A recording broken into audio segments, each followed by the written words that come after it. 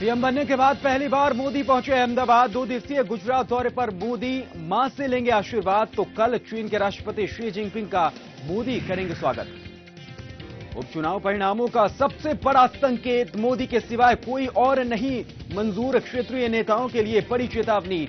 बड़ा सवाल, चार महीने के बाद क्यों बदला जनता का नज़रिया? जम्मू कश्मीर में धीरे धीरे सामान्य हो रहा है जनजीवन, लेकिन महामारी महामारी की आहट जो है अभी भी नज़र आ रही है।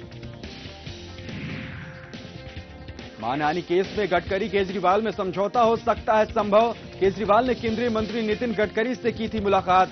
वहीं आपने समझौता पर बात से किया इनकार। छब्बीस ग्यारह मास्टरमाइंड को भारत सौंपने की आवाज़ें, फिर हुई बुलंद। पाक उच्चायुक्त का आतंकी सईद की तरफदारी करना भारत को नहीं गवारा। और पाकिस्तान के पूर्व गृह मंत्री रहमान मलिक पर लोगों का फूटा गुस्सा। मलिक की वजह से दो घंटे तक रुका रहा विवाद।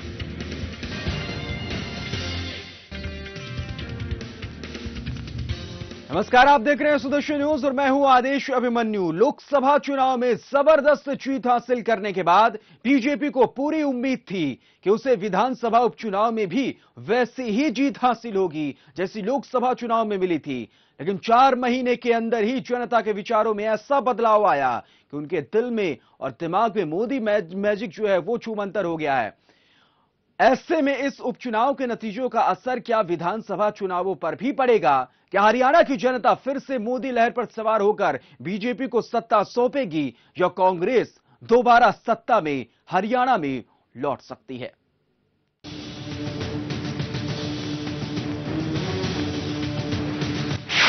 उपचुनाव में कैसे गायब हो गया मोदी मैजिक क्या उपचुनाव के नतीजों का हरियाणा चुनावों में पड़ेगा असर?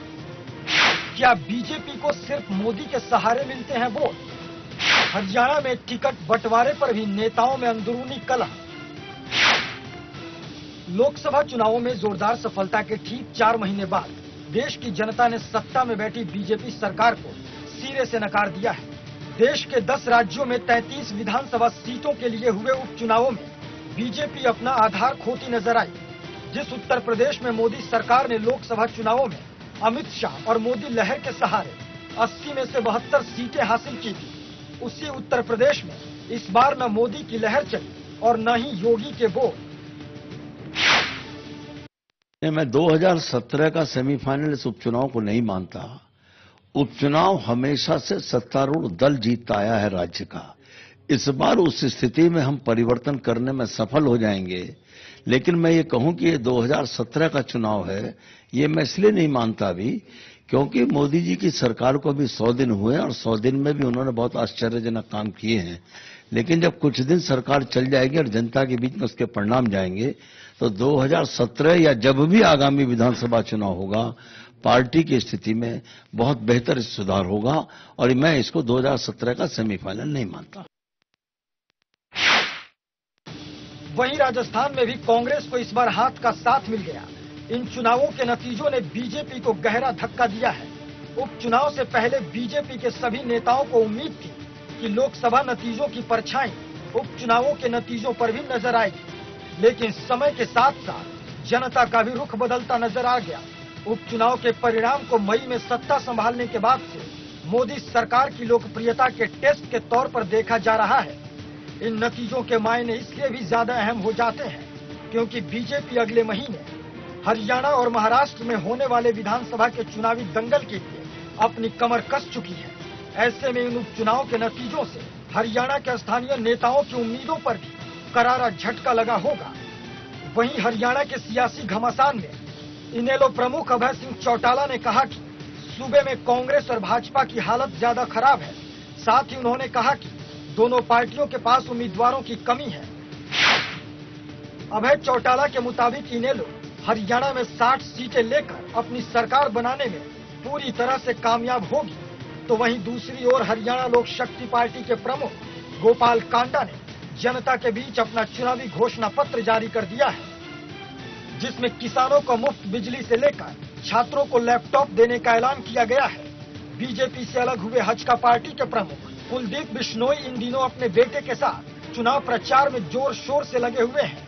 कुलदीप बिश्नोई की माने तो अगर कोई पार्टी उनके पास कोई अच्छा ऑफ़र लेकर आती है तो हम गठबंधन करने पर विचार कर सकते हैं। बिश्नोई आने वाले एक या दो दिनों में अपने प्रत्याशियों की घोषणा कर सकते हैं। लेकिन सवाल ये कि बीजेपी से अलग हुए बिश्नोई के साथ कौन सी पार्टी जुड़ना चाहेगी? वहीं विपक्षी पार्टियों की माने तो अब देश से मोदी लहर खत्म हो चुका है। उत्तर प्रदेश के मतदाता छल कपट और धोखा बर्दाश्त नहीं कर सकते हैं।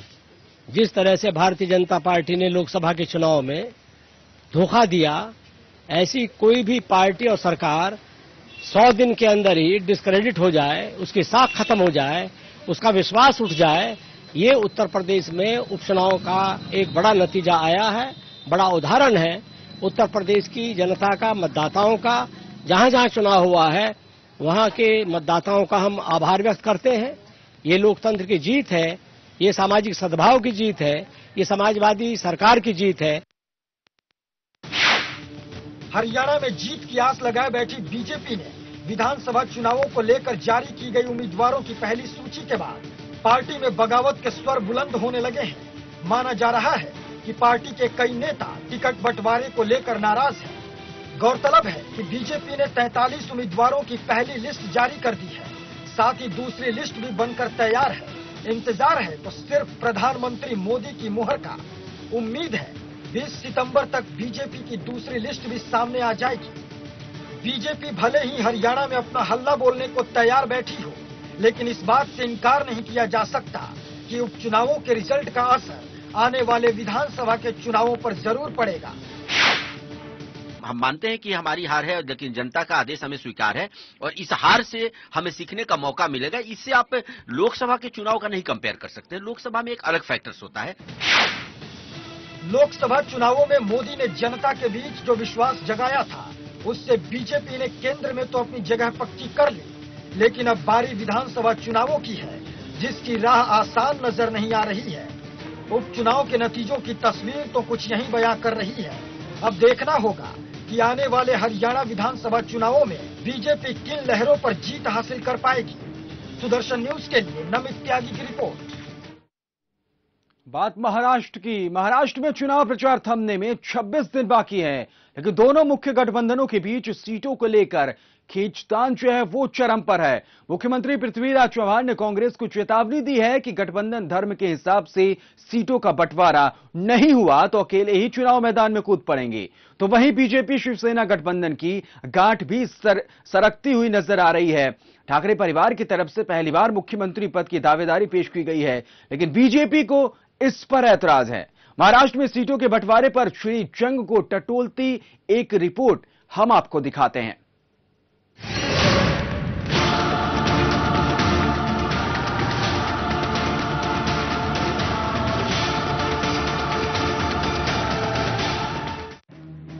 महाराष्ट्र की चुनावी फिजा में बीजेपी शिवसेना में गठबंधन पर रार बरकरार है। तो वहीं कांग्रेस एनसीपी गठबंधन में भी सियासी संकट चरम पर है। बीजेपी के अंदर खाने से खबर है कि महाराष्ट्र में बीजेपी शिवसेना के बीच तनाव के पीछे बीजेपी का विदर्भ ग्रुप खड़ा है। विदर्भ ग्रुप शिवसेना के साथ गठबंधन तोड़ने की हर संभव कोशिश में है। तो वहीं बीजेपी का दूसरा धड़ा शिवसेना के साथ दोस्ती के पक्ष में है। गौरतलब है कि महाराष्ट्र के विदर्भ इलाके में बीजेपी की पैठ मज़बूत है और वहाँ अलग विदर्भ राज्य की मांग करने वाले बीजेपी नेता अपनी महत्वाकांक्षाओं के लिए शिवसेना से दोस्ती तोड़ना चाहते हैं। देखिए, हमने हमेशा ये कहा है कि रीडिस्ट्रीब्यूशन ऑफ़ द सीट्स ये हमारे जो अलायंस है अलायंस के हित में होगा, क्योंकि उनसठ सीटें ऐसी है कि जहाँ पर शिवसेना कभी जीती नहीं है। उन्नीस सीटें ऐसी है कि जहाँ पर हम कभी जीते नहीं है। तो वहाँ पर ताकतों, ताकतें जो है, इनका रीअलाइनमेंट हुआ है। तो ये जो हमारी ताकतें, जहाँ जिसकी बड़ी हुई है, उसका विचार करते हुए जब इसका रीडिस्ट्रीब्यूशन होगा तो हो सकता है रीडिस्ट्रीब्यूशन में हमको ज़्यादा सीटें मिले तो देनी चाहिए। इसका कारण है कि वो सीटें अदरवाइज़ कांग्रेस एनसीपी की चुनकर आने की जगह हमारी महायुति की लार्जर अलायंस की चुनकर आएगी। आज 33 विधानसभा और तीन लोकसभा सीटों पर उपचुनाव के नतीजों से भी शिवसेना बीजेपी के साथ सीटों के बंटवारे पर अड़ सकती है। शिवसेना प्रमुख उद्धव ठाकरे ने हाल ही में एक टीवी इंटरव्यू में कहा था कि कुछ राज्यों में मोदी लहर अपना असर दिखाने में असफल रही। हालाँकि बाद में उन्होंने इस पर सफ़ाई दी और कहा कि लोकसभा चुनाव में महाराष्ट्र में एनडीए की जीत में शिवसेना के योगदान को नजरअंदाज नहीं किया जा सकता। लेकिन उद्धव ठाकरे का ऐसा बयान और आज उपचुनाव के नतीजों से शायद भगवा गठबंधन की गांठ में मुश्किलें और भी होंगी। हालाँकि बीजेपी की तरफ़ से ऐसा दावा किया जा रहा है कि गठबंधन में सब कुछ ठीक है और अगले 48 घंटों में गांठ की फांस सुलझ जाएगी। हर चुनाव में आखिरी दिनों में इस प्रकार की तनाव की स्थिति बनी रहती है, वो इस बार है और उससे रास्ता निकलता है। उपचुनाव के नतीजे अलग होते हैं और सार्वत्रिक चुनाव के अलग होते हैं और इसलिए सार्वत्रिक चुनाव में आप देखेंगे बिल्कुल जो लोकसभा में मिला है वही होगा। बिल्कुल अगले अड़तालीस घंटे में सुलझ जाएगा। वहीं सत्ताधारी पार्टी एनसीपी की तरफ़ से बीजेपी शिवसेना गठबंधन पर सत्ता का लोभी होने का आरोप लगाया जा रहा है। भारतीय जनता पार्टी और शिवसेना के लोग ये एक दूसरे को गिगड़ भपकी दे रहे हैं। वो जानते हैं कि महाराष्ट्र में कई बार सपने उन्होंने देखे। निन्यानवे से यहाँ पे अगाड़ी की सरकार है। 2004 में भी ऐसी ही बात करते रहे। 2009 में भी उनको लोगों ने सबक सिखाया, एक साथ वो हमसे मुकाबला नहीं कर सकते तो अलग अलग लड़ने की उनकी हिम्मत नहीं। एक दूसरे पे दबाव बनाने के लिए गिदड़ भपकी देने का कार्यक्रम शुरू है। इससे ये बात तो स्पष्ट हो गई कि लड़ाई परिवर्तन की नहीं है, विकास की नहीं है, बल्कि सत्ता की लड़ाई है। और दोनों, चाहे वो शिवसेना हो, बीजेपी हो, दोनों इस बात के प्रयास में है कि महाराष्ट्र के मुख्यमंत्री की गद्दी किसको मिलती है? भारतीय जनता पार्टी जिनको, जो पूरे देश में उनका, उनकी सत्ता बन चुकी है, आज उनके प्रधानमंत्री हैं तो अब वो चाहते हैं कि महाराष्ट्र जैसे महत्वपूर्ण राज्य को छोड़ा ना जाए और किसी तरह शिवसेना को दबाने की कोशिश हो रही है। एनसीपी भले ही परिवर्तन की लड़ाई की जग सत्ता की लड़ाई का आरोप बीजेपी पर लगाए, लेकिन जग ज़ाहिर है कि उनके घर में भी सब कुछ ठीक नहीं है। वहाँ भी कांग्रेस के साथ गठबंधन पर तकरार जारी है। मुख्यमंत्री पृथ्वीराज चौहान ने तो कांग्रेस को चुनौती दे दी है कि अगर समझौता गठबंधन धर्म के अनुसार नहीं हुआ तो अकेले दम पर चुनाव लड़ेंगे। अजीत पवार ने भी कांग्रेस को धमकी दे दी है कि कांग्रेस को उसके मुताबिक सीटों पर चुनाव नहीं लड़ने दिया जाएगा। अजीत पवार के मुताबिक, एनसीपी इस बात पर अडिग रहेगी कि हम 144 सीटों पर ही अपने उम्मीदवार खड़े करेंगे। सूत्रों के मुताबिक, दोनों दलों के बीच बैकरूम डिप्लोमेसी जारी है। एनसीपी की चुनौती पर कांग्रेस हाईकमान की तरफ़ से कोई पलटवार नहीं किया गया है। तो इससे इस बात का अंदाज़ा है कि कांग्रेस को किसी भी हालत में एनसीपी के साथ समझौता करना पड़ेगा। सुदर्शन न्यूज़ के लिए विनीत कुमार की रिपोर्ट। तो एनसीपी कांग्रेस और बीजेपी शिवसेना दोनों के बीच अलग ही फितूर इस वक्त नज़र आ रहा है। लेकिन क्या नतीजा निकलेगा? बीच का रास्ता क्या होगा? यह देखना बेहद दिलचस्प होगा। यार को एक छोटे से ब्रेक के लिए। खास पेशकश है, वो लगातार जारी है।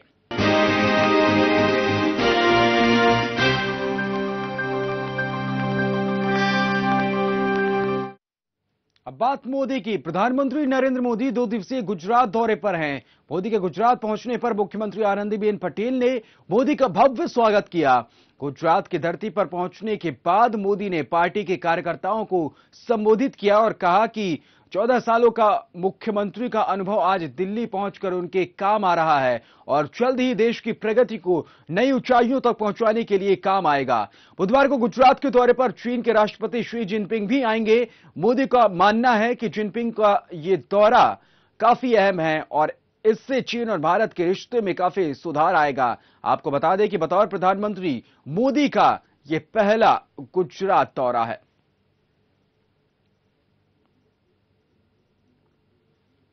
दस राज्यों के तीन लोकसभा और तैंतीस विधानसभा सीटों पर हुए चुनाव के नतीजों ने सबको चौंका दिया है। मोदी सरकार के चार महीने बाद जनता के नज़रिए में बदलाव देखा गया है, जिससे अब कहा जाने लगा है कि जनता को मोदी के अलावा कोई रास नहीं आ रहा है। दरअसल चुनाव रिज़ल्ट ने कहीं ना कहीं क्षेत्रीय नेताओं नेताओं को सतर्क होने के संकेत दिए हैं।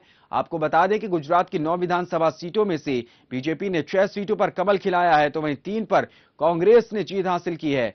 राजस्थान की अगर बात करें तो राजस्थान में सभी सीटों पर बीजेपी ने कब्जा जो है वो जमाया है। वहाँ बीजेपी पस्त नज़र आ रही है।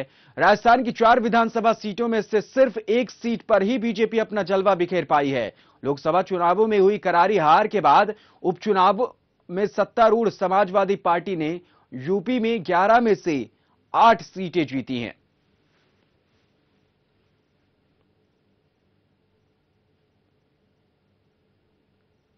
बीजेपी के केंद्रीय सूचना एवं प्रसारण मंत्री प्रकाश जावड़ेकर, बीजेपी उपाध्यक्ष मुख्तार अब्बास नकवी और बीजेपी सांसद योगी आदित्यनाथ ने उपचुनाव के रुझानों पर क्या कुछ कहा? सुनाते हैं आपको। एक बहुत स्थानीय होते हैं और उसको उसी नज़रिए से देखना चाहिए। उसमें से तुरंत यह अर्थ निकालना कि मोदी जी की या बीजेपी का समर्थन कम हो रहा है, वेव कम हो रहा है, वो गलत तो साबित होगा। आने दो महाराष्ट्र और हरियाणा के चुनाव, दिखा देंगे दम, और इसलिए उपचुनाव को, नतीजों को उसी मात्रा में देखना चाहिए, जितना कि उसका है। और ये कोई जनमत संग्रह नहीं था कि किसे कहते नहीं कि मोदी जी की सरकार का जनमत संग्रह मुझे लगता है कि ये चीज़ें जो है बहुत जल्दबाजी और बहुत अति आत्मविश्वास में अगर कांग्रेस या कुछ और लोग ये बात कह रहे हैं तो उन्हें इस बात को समझना होगा कि अभी कुछ दिनों पहले ही देश की जनता ने जो जनादेश दिया है, वो जनादेश पूरे देश का जनादेश था। उसके अलावा ये बाई इलेक्शंस हैं, इनके भी, इनमें भी जो है वो हम जीतने के लिए लड़ते हैं। हम हर चुनाव, पंचायत से लेकर पार्लियामेंट तक के चुनाव को हम चाहते हैं कि भारतीय जनता पार्टी जीते, आगे भी हम जीतेंगे। और हार और जीत तो एक सिक्के के दो पहलू हैं। लेकिन चुनाव के जो परिणाम होते हैं, वो काफ़ी तो बातों पर निर्भर करते हैं। चुनाव कैंपेन उसमें महत्वपूर्ण होता है, एक, लेकिन साथ साथ टिकट वितरण किस रूप में किया गया है और संगठनात्मक संरचना किस रूप में की गई है? यानी व्यू रचना आपकी क्या है? इस पर भी निर्भर करता है। और मुझे लगता है कि टिकट वितरण की समीक्षा और संगठनात्मक व्यू की समीक्षा भी उसमें आवश्यक है। कोई भी जीत या कोई भी हार व्यक्ति को आत्मविश्लेषण की प्रेरणा देता है। हम लोग हम लोग, देखिए, जहाँ मैं गया था, दोनों जगह हम लोग जीते हैं। नोएडा लखनऊ दोनों बीजेपी जीती है। उपचुनाव के नतीजे पर अलग अलग राजनीतिक दलों का क्या कुछ कहना है? दिखाते हैं आपको। आयोग ने अभी कई स्थानों पर उपचुनाव कराया है और पाँच राज्यों में इन उपचुनावों का परिणाम आया है। हमारी तरफ़ से हम ये समझ सकते हैं कि ये मिश्रित परिणाम है और इससे विपक्ष को कुछ क्षण के लिए खुशी मिल सकती है, लेकिन उनके लिए ये खुशी जो है ये उत्साह जो उनका है, ये क्षणिक है। साथ साथ हम ये भी स्वीकार करते हैं कि हमारे लिए ये छोटे तौर पर एक आत्म मंथन का विषय है। इस विधानसभाओं के जो उपचुनाव हुए और तीन लोकसभा के चुनाव ने देश की राजनीति को एक नई करवट दी है। भारतीय जनता पार्टी के लोग कहते हैं कि ये चुनाव परिणाम किसी प्रकार का जनमत संग्रह नहीं है। लेकिन जब उत्तर यूपीए की सरकार थी, जब कांग्रेस की सरकार थी, एक भी सीट भारतीय जनता पार्टी जीत लेती थी तो कहती थी जनमत संग्रह है। आज उत्तर प्रदेश और गुजरात दोनों के में, राज्यों में जो भारतीय जनता पार्टी की पराजय हुई है वह पराजय ये दिखलाती है कि देश की जनता सौ दिनों में उनके कार्यकाल से नाखुश है। मोदी योगी का ये जो कॉम्बिनेशन उत्तर प्रदेश में अराजकता और सांप्रदायिकता पैदा कर रहा था, उसे जनता ने ठुकरा दिया।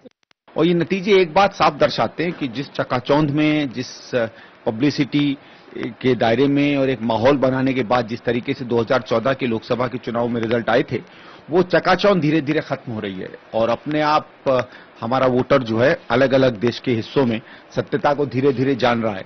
और जब रोशनी हट जाती है, स्टेज हट जाता है तो वास्तविकता पता चलती है। वो वास्तविकता पता चल रही है और अपने अपने मुकामों पे वोटरों ने वहाँ वहाँ से अपना सीधे सीधे संदेश दिया है।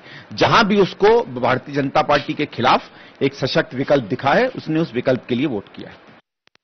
ये नतीजे बीजेपी के चेहरे पर एक करारा थप्पड़ है और उनके लिए ये संकेत देता है कि इस तरह की जो पॉलिटिक्स, खासकर यूपी में, जो आदित्यनाथ वगैरह करी जा रही थी, सांप्रदायिकता की राजनीति, ये इस देश में नहीं चलेगी।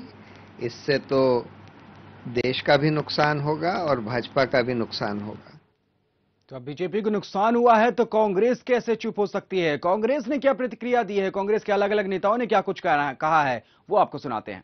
चुनाव तो आनंदीबेन के नाम से लड़ा नहीं गया, ये तो मोदी जी के नाम से ही लड़ा गया। सारे देश में बाई इलेक्शन में सभी जगह मोदी का ही नाम लेकर प्रचार भी किया गया। अमित शाह ने एक बात सही कह दी थी कि देखो, चुनाव 2014 का जीते हैं हम, वो मोदी लहर पे नहीं।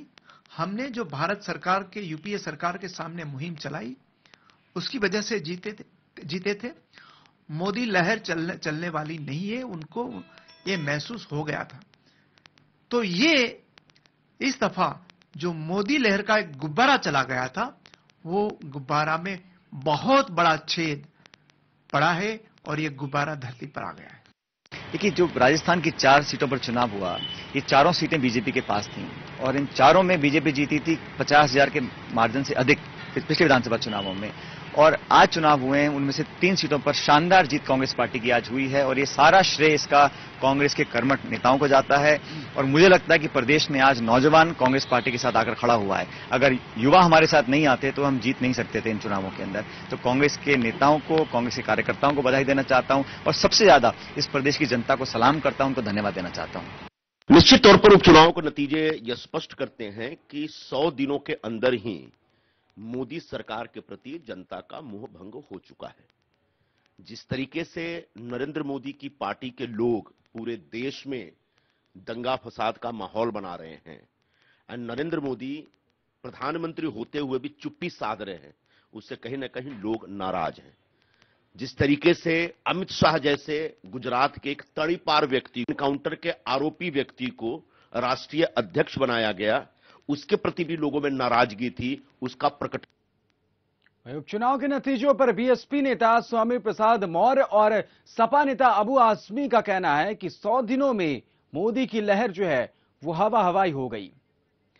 और साथ ही साथ यूपी में बीएसपी का चुनाव न लड़ने का फैसला एसपी के लिए फ़ायदेमंद साबित हुआ है। तो बीजेपी के लिए नुकसानदायक रहा है। माना जा रहा है कि बीएसपी के चुनावी मैदान में उतरने की वजह से दलित वोट एसपी के पाले में आते दिखे हैं, लेकिन आम चुनाव में ऐतिहासिक जीत का परचम विधानसभा उपचुनाव में फीका पड़ता दिखा है। माना जा रहा है कि एसपी के मुस्लिम फैक्टर ने साइकिल को दौड़ने में खासा मदद की है। इतना ही नहीं, आम चुनाव में यूपी की ऐतिहासिक जीत दिलाने में बड़ा रोल अदा करने वाले बीजेपी अध्यक्ष अमित शाह की रणनीतियों का भी असर नहीं दिखा है। वही कांग्रेस अपनी पस्त हालत को उपचुनाव में भी नहीं संभाल पाई है। इन सब के बीच बड़ा सवाल यह है कि क्या ये मोदी को चेतावनी है या साजिश का असर देखा जा रहा है? फ़िलहाल मेरे साथ इतना ही। मुझे दीजिए इजाज़त। हिंद।